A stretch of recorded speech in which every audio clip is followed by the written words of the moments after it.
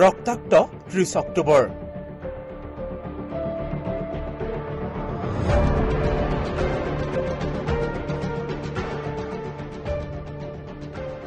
অৱশেষত চৰম নৃশংসতা বৰ্বৰতাৰ শাস্তি।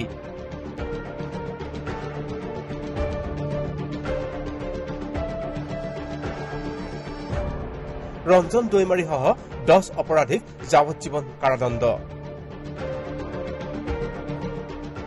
অৱশেষত নিৰীহৰ তেজেৰে হাত ৰাঙলি কৰা এন ডি এ পিৰ অধ্যক্ষ ৰঞ্জন দৈমাৰীসহ চৈধ্য অভিযুক্ত শাস্তিৰ আদেশ আদালতৰ।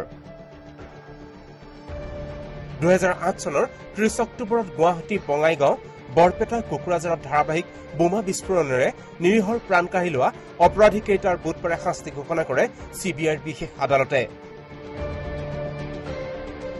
ধাৰাবাহিক বোমা বিস্ফোৰণ কাণ্ডৰ খলনায়ক ৰঞ্জন দৈমাৰীক যাৱজ্জীৱন কাৰাদণ্ড আদালতৰ।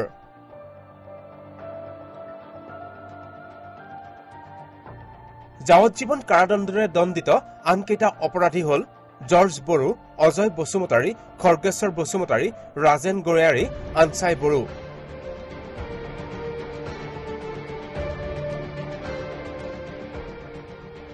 লখৰা বসুমতাৰী ইন্দ্ৰ ব্ৰহ্ম বৈশাখী বসুমতাৰী ৰাজু চৰকাৰ। দহজনক লাইফ ইমপ্ৰিজনমেণ্ট দিলে। আৰু সেই দহজনৰ ভিতৰত আছে আপোনাৰ ৰঞ্জন দৈমাৰী আছে জৰ্জ বড়ো আছে অজয় বসুমতাৰী আছে খৰ্গেশ্বৰ বসুমতাৰী আছে ৰাজেন গয়াৰী অনচাই বড়ো লকৰা বসুমতাৰী ইন্দ্ৰ ব্ৰহ্ম বৈশাখী আৰু ৰাজু চৰকাৰ। একেটা গোচৰতে দোষী সাব্যস্ত হোৱা আন তিনি অভিযুক্ত জয়ন্ত ব্ৰহ্ম প্ৰভাত বড়ো মথুৰাম ব্ৰহ্ম জৰিমনা বিহে আদালতে ফাইনমাগৰাকী হৈছে জয়ন্তী ব্ৰহ্ম ওৰফে যোগামী প্ৰভাত বড়ো ওৰফে টেপা মথুৰাম ব্ৰহ্ম ব্ৰহ্ম ওৰফে মুদাই। এইকেইজনৰ বিৰুদ্ধে ফাইন ইম্প'জ কৰা হৈছে। দৈমাৰীক যোৱাকালি কোৰ্টে অৰ্ডাৰ এটা দিছিলে যে তেওঁ যিহেতু যিকেইটা ছেকশ্যন পেনাল্টি হৈছিলে দহ আৰু তেৰ অনতি অনৈতিক কাৰ্যকলাপ প্ৰতিৰোধ আইনৰ অধীনত কিন্তু সেই ছেকশ্যনৰ মতে মেক্সিমাম পানিছমেণ্ট হৈছে সাত বছৰ। তেওঁ যিহেতু দহ বছৰ খাটিলেই সেইকাৰণে তেওঁ দুটা ছেকশ্যনত টেন আৰু থাৰ্টিন ইউ পি এক্টৰ টেন থাৰ্টিন ছেকশ্যনত এশ এশ টকা ফাইন লগাই তেওঁ যাব পাৰে বুলি কোৱা হৈছে অৰ্ডাৰটোত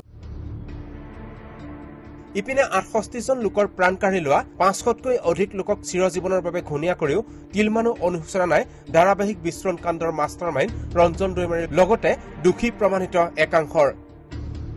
আদালতত হাঁহি হাঁহি হাজিৰ হোৱা কুখ্যত অপৰাধী ৰঞ্জন দৈমাৰীৰ মন্তব্য।